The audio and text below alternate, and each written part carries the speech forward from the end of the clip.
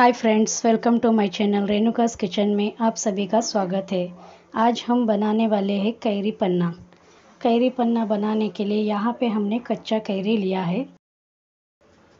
इसे अच्छे से धो लेना है और इसका जो ऊपर का छिलका है, इस तरीके से हम थोड़ा थोड़ा निकाल लेंगे।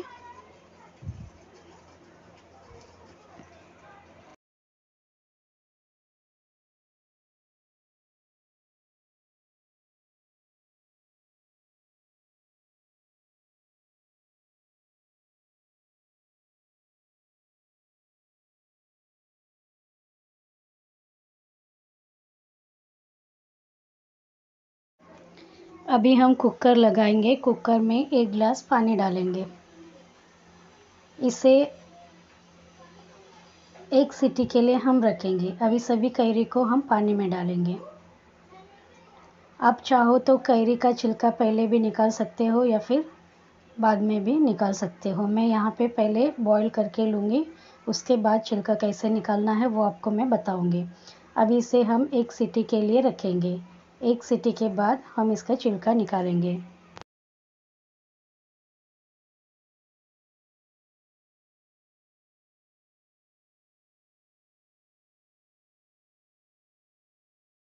कुकर का एक सीटी बच चुका है। अभी हम गैस ऑफ़ कर देंगे।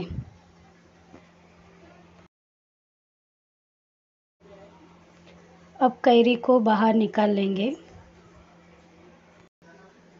अभी हमें कैरी का छिलका निकाल लेना है। देखो कितने आसानी से कैरी का छिलका निकल रहा है। आप भी देख सकते हो। आप चाहो तो पहले भी छिलका निकाल कर बॉईल कर सकते हो या फिर इस तरीके से भी आप कर सकते हो। अब ये कुछ ज़्यादा ही गर्म है। इसको हम ठंडा होने के लिए रखेंगे। उसके बाद छिलके को और बीज को अलग कर लेंगे। दोनों को अलग करने के बाद मैं आपको दिखा दूँगी।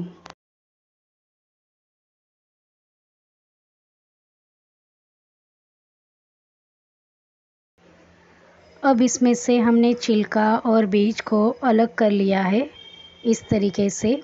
अब इसे हम मिक्सर में पीसेंगे।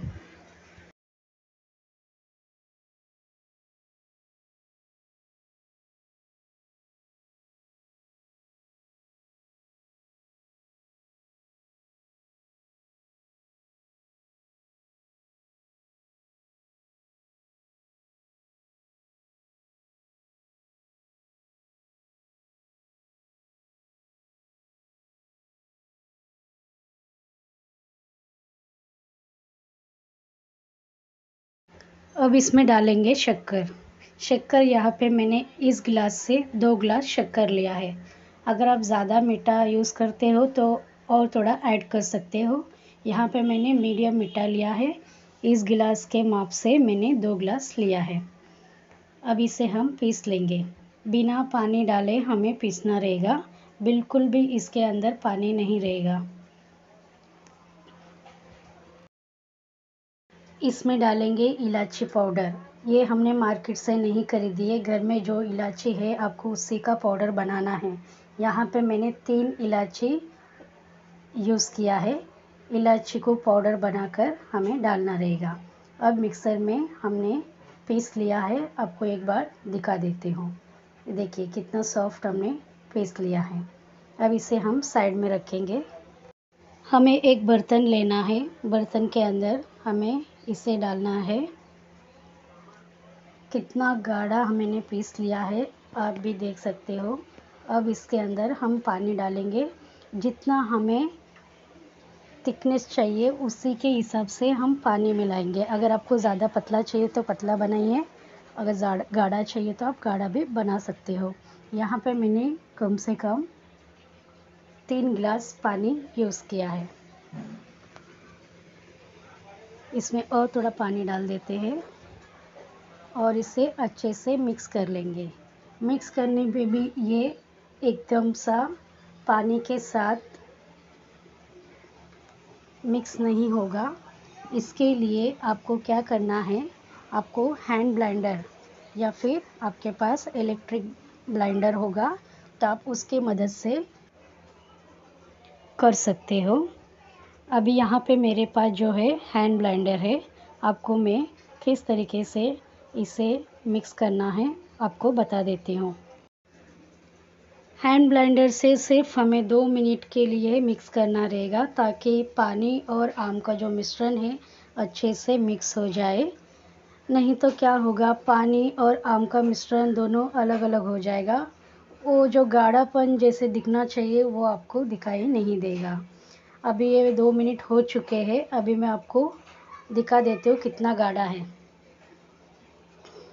आप देख सकते हो, अभी मैं इसमें डाल कर दिखा दूँगी। ये देखिए, कितना गाढ़ा और कितना अच्छा।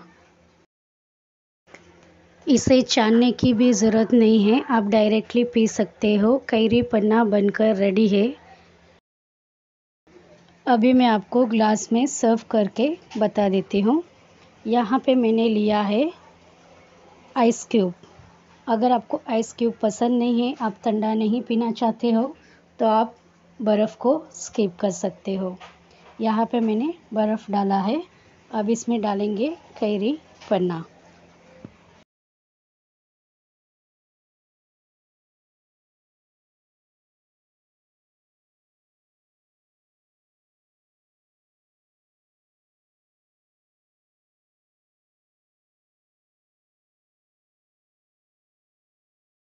अब इसमें डालेंगे थोड़ा सा चाट मसाला।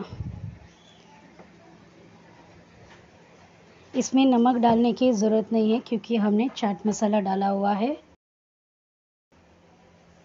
अब ये पीने के लिए रेडी है। आप अपने घर पर ज़रूर ट्राई कीजिए और मुझे कमेंट बॉक्स में बताइए। जिन्होंने अभी तक मेरे चैनल को सब्सक्राइब नहीं किया है तो जल्दी से कर लीजिए।